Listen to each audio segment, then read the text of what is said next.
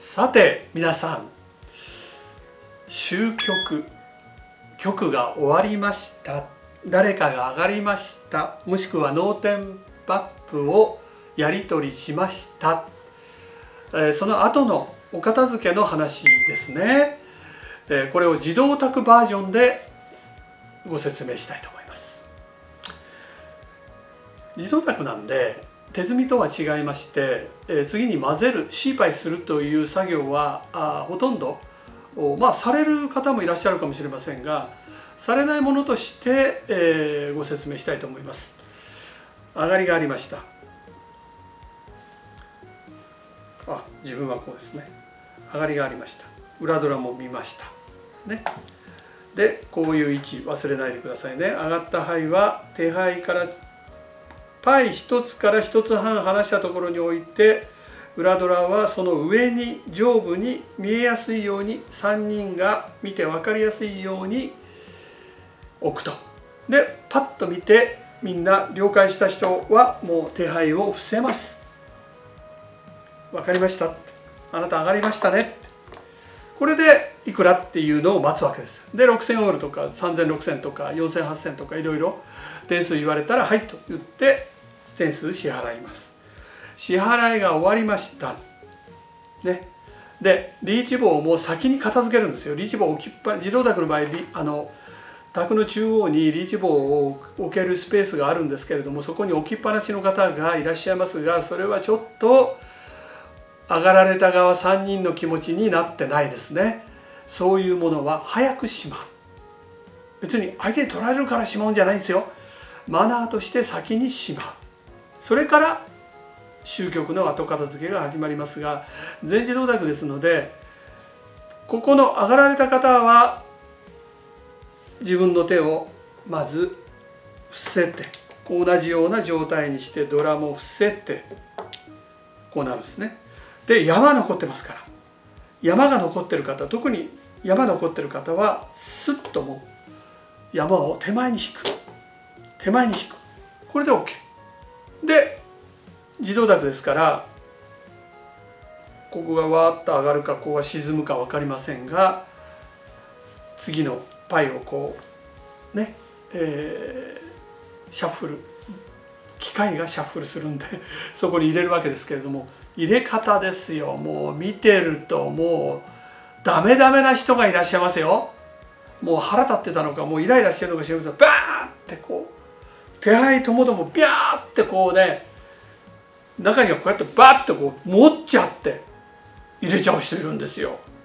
マナーが良くないですねよろしくないですねどんなに熱くなっててもどなたかが上がって自分が点数払ったらリセットしてパイたちに罪はありませんからパイたちを慈しむというか傷つけないように優しく中に入れてあげる優しく思いを込めて次はいいことが起きますようにもしくはまた会いましょうね一期一会ですけれどもまた会いましょうねって言ってこ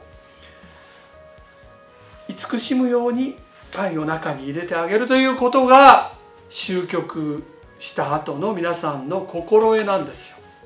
この心得を忘れてつい勝負に夢中になって感情的になったり旬となったりしてもうなんだかもう見えてないパイもうパイたちも見えてない感じでこう入れてる人いますけれどもショックはわかる。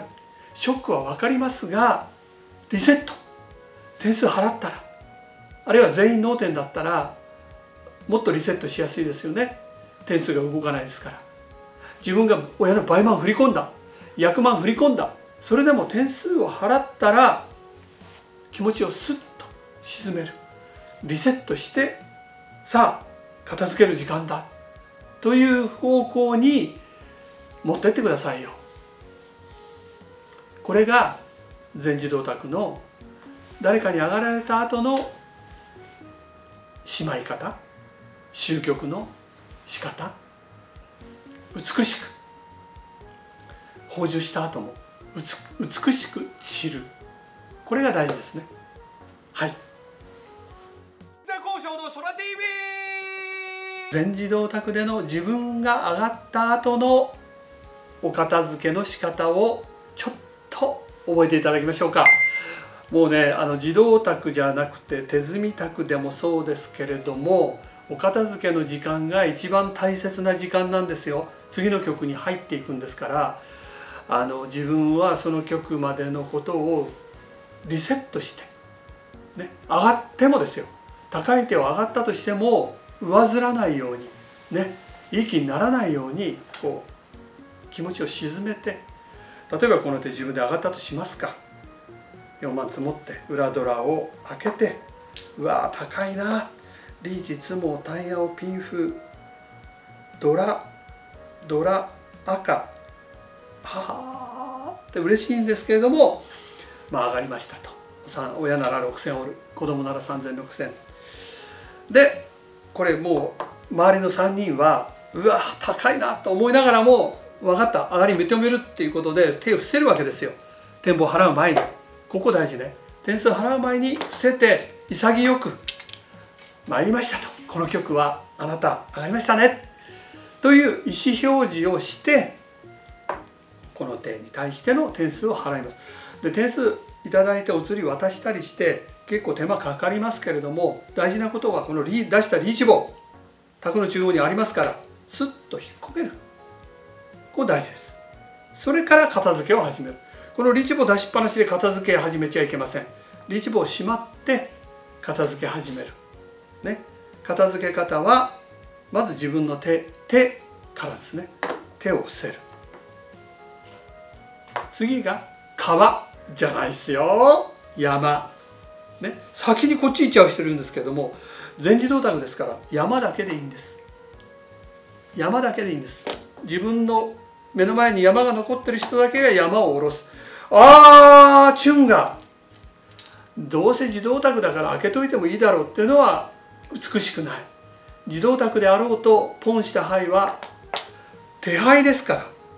手配伏せるんでしょ？上がり認めたら。だったらこのポンした牌も手配の一部ですから伏せて待つんですよこうやって。であみんな山も落としましたね。次の準備入りましたねっていうんでこれを優しく自分の手配を優しくこう卓の中にこう落とし込む。ありがとうねパイたち。また次いい出会いをしましょうね。っていう思いを込めてパイを触る。丁寧に触ると。これが片付け方の基本でございまして自動卓でも手積みの卓でも心得は一緒。相手に喧嘩を売らない。こんな下ろし方しない。こうもダメね。なんか片手でやる人いますけどやっぱり両手でこうねこう手前に引く。手配もねこんなことやってこう伏せてる人いますけど片手で伏せちゃいけませんよ。手配というのは。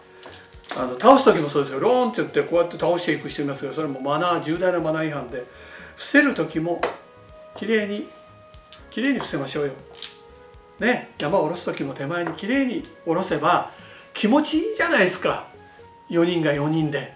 そしたら次の曲フレッシュな気持ちでリセットして入れるじゃないですか。これが終局後のお作法でございまして。私だけあの私の流儀かもしれませんが皆さんが心得ていただければお前やってないじゃないかなと思っちゃいけませんよ。他の人がやってなくても自分がちゃんとしていればそれで済む話です。強要してはいけません。以上です。ご視聴いただきまして本当にありがとうございました。高評価チャンネル登録どうかよろしくお願い申し上げます。